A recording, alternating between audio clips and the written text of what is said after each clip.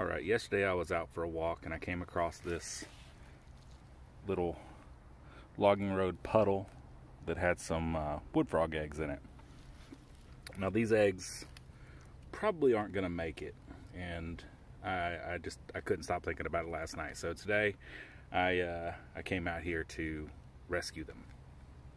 Now under normal circumstances I would say you should not move amphibian larvae or any, anything from one pond to another or a pool to another for the risk of spreading diseases. Um, but in this case, this puddle's here. I'm pretty sure it's going to dry up before these guys would um, metamorphosize into adults. So I am going to move these.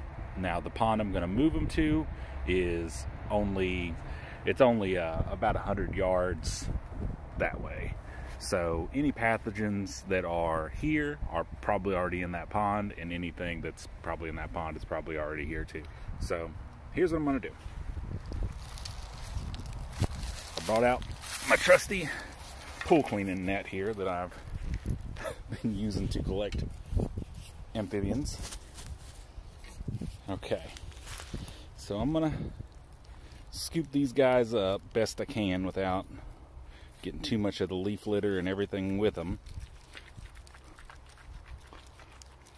Come on, you. Oh, they're so gross. Alright, I really need two hands for this. see how many more I can get. So yeah, these are wood frogs, and you can tell they're wood frogs because of the the little round clumps that they they're just kind of out in the open and round clumps like marble sized clumps of eggs. Um, toad eggs will be usually long chains, and wood frogs are also one of the first things to breed around here. So you're pretty safe to assume that it's wood frogs if it's this early in the year. All right, finished up. We've got quite a thing full of eggs here.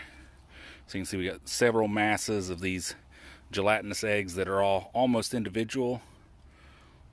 Um, but are kind of slimy and fall apart. I think those are actually Jefferson salamanders.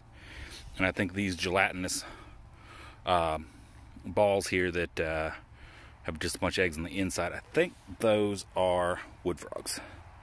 They could be spotted salamanders too, but I'm pretty sure these are wood frogs and um, Jefferson salamanders. All right, here we go. Let's release them into the pond here.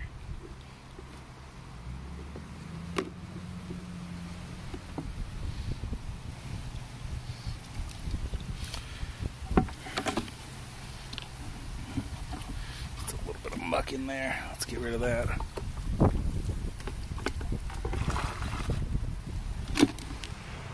Okay, and they're all in the pond now. So, again, I'm just going to reiterate don't move eggs too far away from where you find them because there's always a chance of transferring pathogens around and things like that.